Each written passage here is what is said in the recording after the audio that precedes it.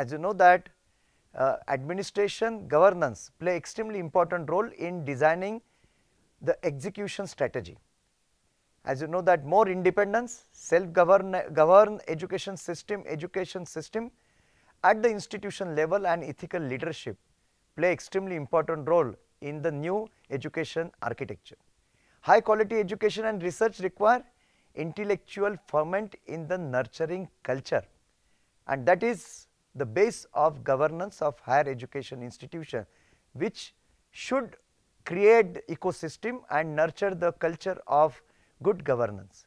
Higher education system is required to perform in an independent manner and that is possible when they are governed by independent boards and then which is absolute autonomy in, in making the decision related to academic and administration.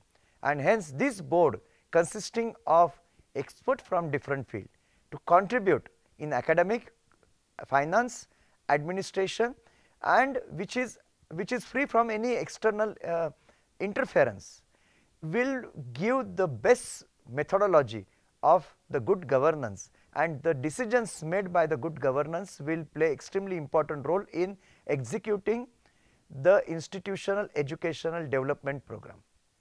When we talk about self-governing entities and um, basically uh, these institutions will act as a autonomous independent standalone institution. This means the existing affiliation system which is a big burden for every university will also go away. Every institution will become autonomous degree awarding institution and will play extremely important role in harnessing all opportunities to students and teachers. And hence, when we talk about uh, creating now transforming excellent institutions of around maybe 15,000 institutions will be in true sense vibrant multidisciplinary institutions. This will be possible when we are existing system of private and public institution, funded and unfunded institute. They are basically treated at par by the regulatory regime and hence it will also constrain the commercialization of education and it will improve, it will, it, it will enhance the philanthropic efforts which is engaged in the, in the education system. As you know that the autonomy has to be with accountability as well as uh, with seriousness and when we are offering faculty with academic freedom, curriculum empowerment including uh, pedagogical approaches as well as assessment and evaluation process and research, the institution will flourish in every chosen field and they will become stand alone institution of excellence in the chosen field. Hence, when we talk about a good governance, competent faculty as well as the outcome which is transforming the regulatory system into more facilitating system and that is possible when the regulatory system is becoming effective, enabling, responsive regulation to encourage excellence and public spiritness in higher education. Regulation is not only to control the activities, but act as a facilitator to, to have more equity, excellence, financial stability along with good governance to the institutions. And hence, there is requirement of reorganization of the structure of uh, the new architecture. There are multiple in the existing system, multiple regulatory system, but this creates basically hindrance in the progress of the education system, education institution and hence there should be a single regulatory system along with other institutions, other, other councils as a standard setting system, funding giving agencies as well as accreditation uh, agencies and regulation system.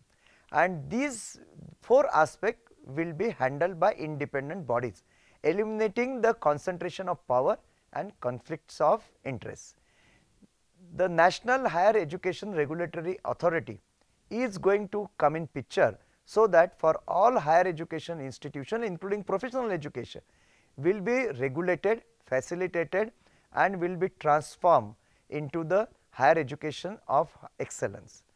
All the other regulatory bodies will be converted into professional standard setting bodies. As you know that in new education structure, we need regulatory system, but we need to also the bodies which will set up the standards in education and in research. Hence, uh, there will be a, the new transformation, new system. For example, it is proposed that University Grants Commission will be transformed into Higher Education Grants Council as designed in, in uh, National Education Policy draft. Similarly, there will be the General Education Council will be set up and will be developed as National Higher Education Qualification Framework to define graduate attributes. One place is governance, second agency is setting up the standards with respect to the National Higher Education Qualification Framework and which will define what the graduate out, out attributes should be there along with expected learning outcomes for higher education. When we talk about these two systems, the third system comes accreditation. As you know that accreditation, NIRF ranking, QS ranking, all these aspect will ensure not only setting up the new benchmark, but attaining the new higher and higher level of excellence which will be at par with international standards. So, accreditation on basic parameters will form the base for regulation.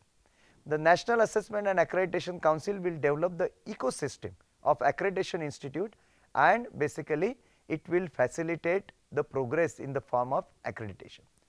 As you know that when we talk about uh, a common regulatory system both for private and public higher educational institution, more philanthropic initiative will be encouraged in private institution.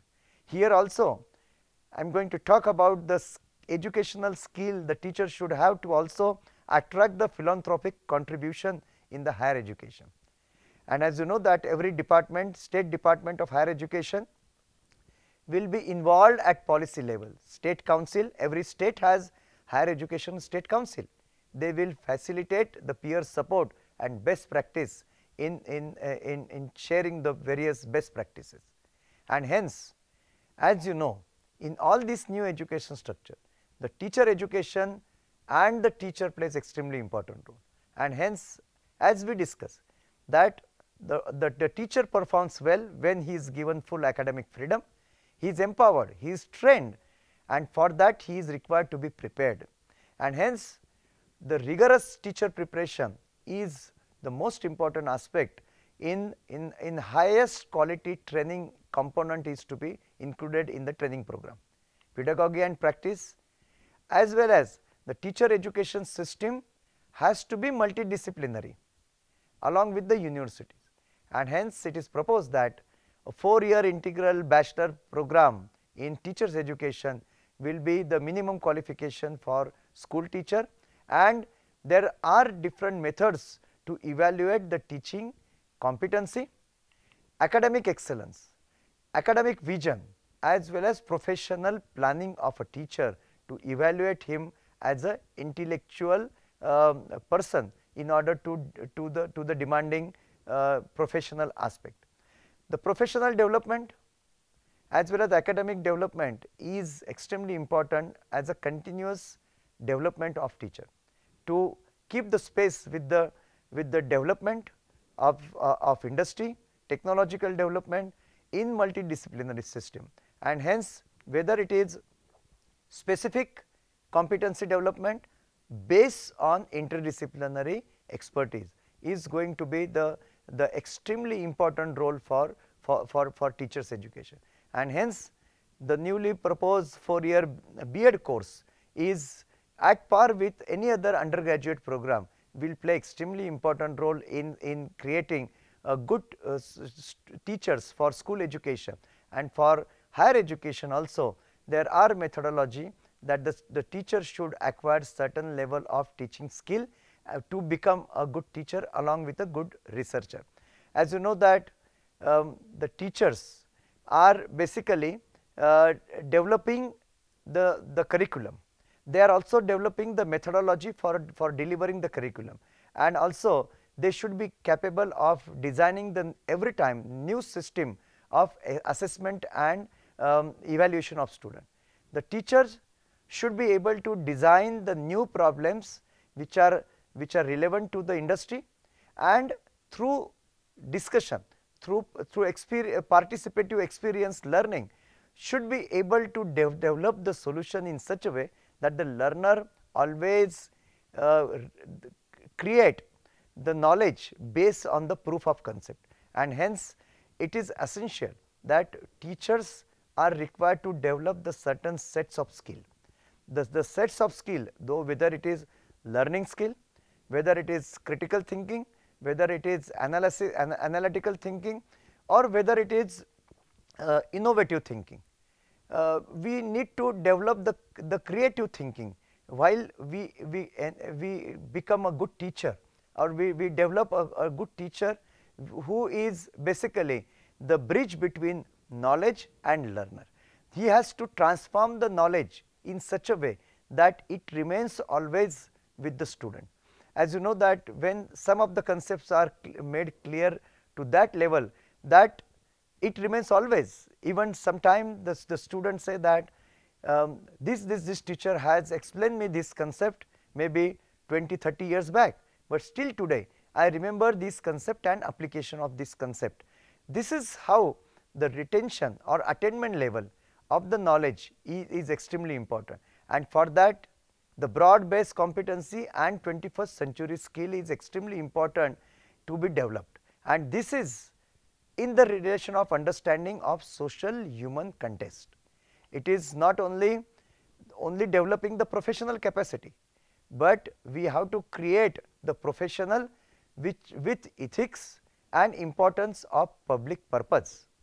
As you know that the teachers is the only person who can not only transform the education or knowledge in true sense, but transform the learner in the form of high value and ethics uh, teaching and creating the, uh, the education for practice, education for to happen and professional education uh, not in isolation, but in a holistic manner.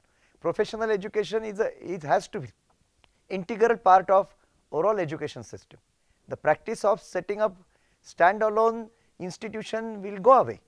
Basically, when the teachers are coming with different background, the integration of different uh, different subjects, different expertise will create the transdisciplinary subject concept and this concept will help the student to under, understand any concept in multiple angles and that that will become extremely important as far as retention of the knowledge is concerned. As you know that every field whether it is uh, uh, education for engineers or education for agriculture, pharmacy, architect, management, hotel management, these all institutions will, will be a professional education which will become integral part of the conventional education system of higher education. That is important because to bring together the expertise with that level of expertise where you can bring together the expertise to create the interdisciplinary subject concept and that is possible as you know that when any practice, any product, any, any technology is to be perfected, it has to be perfected in all aspects contributed by the experts from different field, tested with all aspect and then it is possible to back by the performance commercial guarantee. And hence when we talk about creating knowledge, technology, concept, product or process, the, the acceptance level will be better when it is perfected through interdisciplinary approach development. And hence the teachers with different backgrounds, the best skill of teacher is also to collaborate for knowledge cooperation. And to collaborate to work in team, bring the expertise together. And that is possible when we talk about creating the interdisciplinary approach of learning process. And this is the possible.